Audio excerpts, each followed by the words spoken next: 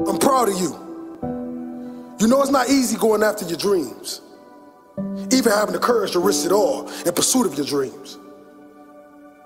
Just having the courage to risk it all while chasing your dream, let alone fighting through all setbacks, obstacles, and naysayers on the way to your dream.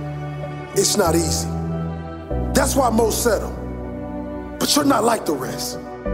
That's why you're listening to this. And I just wanted to say I'm proud.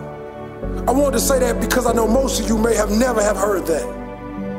I wanted to say that not because you need a pat on the back. You're strong enough to succeed without any of that. Just to let you know you are unique. You are a rare breed, a strong individual. Keep doing your thing and don't let anything or anyone stop you from reaching that goal you have.